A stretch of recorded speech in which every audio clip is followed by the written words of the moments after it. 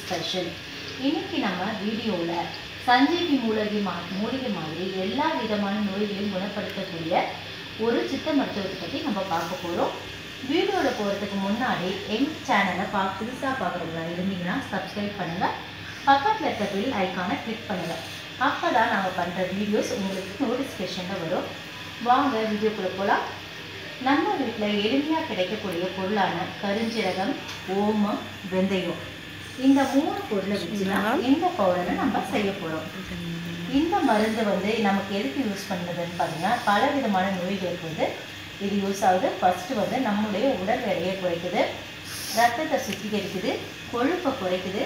செரிமான பிரச்சனையை சரி பண்ணுது. நம்ம உடம்புக்கு வந்து நல்ல ஒரு ஷைனிங்கை கொடுக்குது. கண் சம்பந்தமான பிரச்சனைகளை சரி பண்ணுது. சுகர் லெவலை கண்ட்ரோல் பண்ணுது. இன்னும் சொல்லப்போனால் மற்ற மருந்து யூஸ் பண்ணுறதுனால வர சைடு எஃபெக்டை கூட இது கண்ட்ரோல் பண்ணுது. வாங்க இந்த மருந்தை எப்படி செய்யறதுன்னு பார்க்கலாம். ஃபஸ்ட்டு நம்ம அளவுகளை பார்த்துருவோம். ஃபஸ்ட்டு வந்து பார்த்திங்கன்னா கருஞ்சீரகம். கருஞ்சீரகம் வந்து நான் ஐம்பது கிராம் எடுத்திருக்கேன். நெக்ஸ்ட்டு ஓமம் ஐம்பது கிராம். வெந்தயம் நூறு கிராம். வாங்க இது எப்படி செய்யறதுன்னு பார்க்கலாம். ஃபஸ்ட்டு நம்ம கேஸ் ஆன் பண்ணிவிட்டு சிம்மில் வச்சிடணும். இதை வந்து மிதமான சூட்டில் தான் நம்ம வரக்கூடும் அதிகமான ஹீட் வந்து நம்ம வைக்கக்கூடாது. ஃபஸ்ட்டு நான் வெந்தயத்தை போடுறேன். மிதமான சூட்லேயே வச்சு வரங்க ரொம்ப அதிக தீ வந்தால் தீஞ்சு போயிடும். ஸோ நீங்கள் பார்த்து இது பண்ணுங்கள் ஃபஸ்ட்டு நம்ம வெந்தயத்தை வறுக்க போகிறோம் மிதமான சூட்டு வெந்தயம் போட்டுக்கும் நெக்ஸ்ட்டு நான் போட போகிறது வந்து கருஞ்சீரகம்.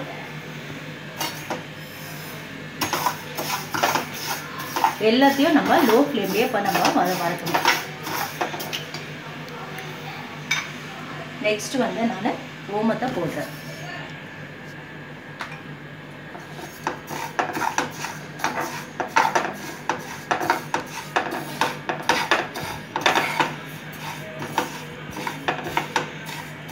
ரொம்ப வறுக்கணும்னு அவசியம் இல்லை.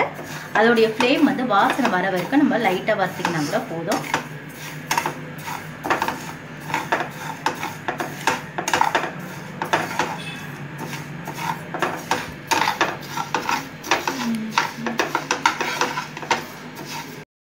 இப்போ நான் மிக்சி ஜாரில் இதை மாற்றிட்டேன் இப்போ உங்களுக்கு நான் பவுடர் அரைச்சிட்டு காமிக்கிறேன் எப்படி இருக்குன்னு.